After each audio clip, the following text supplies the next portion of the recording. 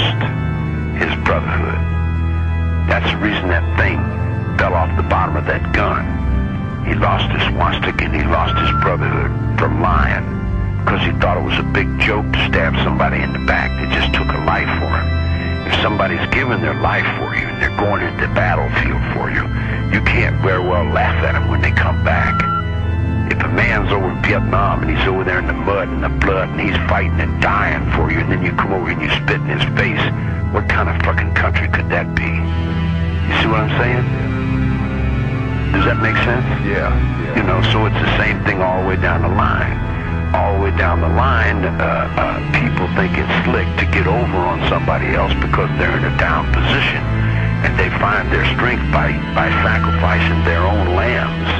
But they're not sacrificing the lambs of their enemies. They're only sacrificing their own children. They're sacrificing their children for somebody else's children.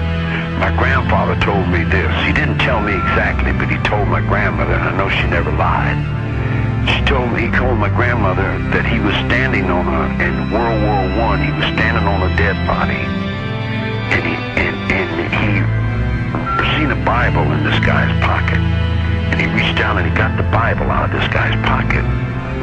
And he opened up the Bible and there was the man's picture with his wife and his two, three children. You dig? And he had a, a chain with a cross on it. And he looked at the Bible and he looked at the man's children. and He looked at the cross and he looked down and seen himself.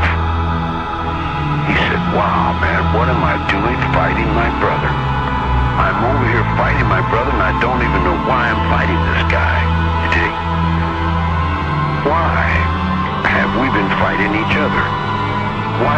divided?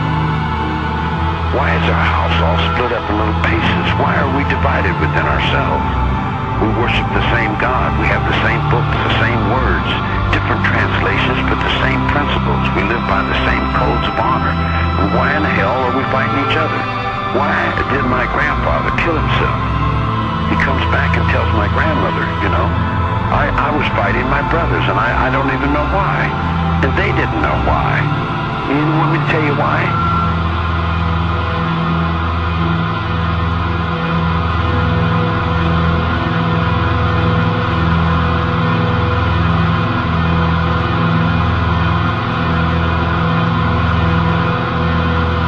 They'll ride on you.